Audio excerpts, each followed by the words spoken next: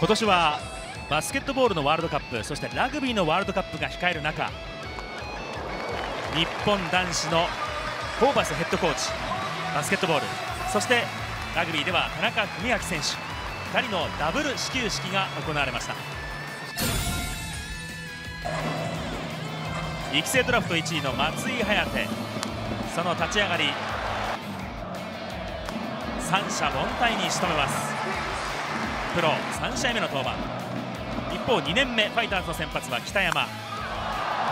丸が自身通算10本目となる先頭バッターホームランジャイアンツが先制です。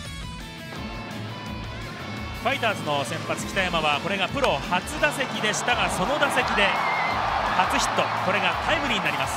レフト前タイムリーで同点。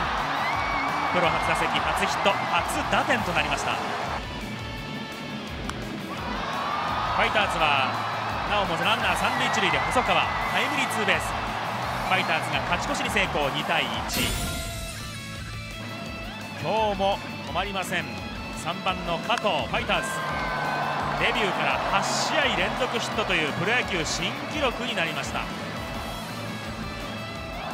そして花咲徳栄高校時代の同級生対決。松井颯に対して野村がスリーランホームラン。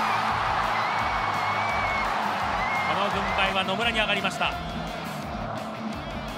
3回はランナー三塁に置いて坂本初球をレフトに運びましてタイムリーヒットで1点を返して5対2中田のこの打球でしたがサードの野村いい反応して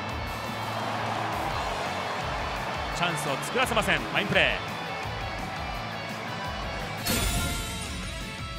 一方ジャイアンツも負けじと5回には加藤のこの打球に対してライトの丸ファインプレー。ファイターズのリードは3点。ゲームの中盤に入っていきます。ピッチャー北山。先ほどは同点タイムリーでしたがこれがセンターにポトリと落ちる。これもタイムリーになります。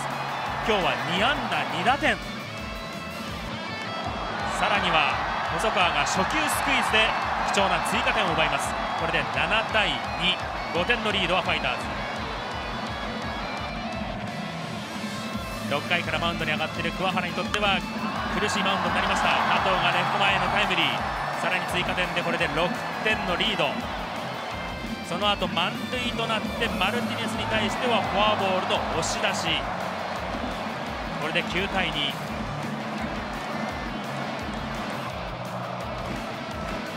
ジャイアンツとしては6回岡本。これがリーグトップ。独走となっていますが第13号のソロホームラン。8回です。マウンド上は三上。4番の万波。11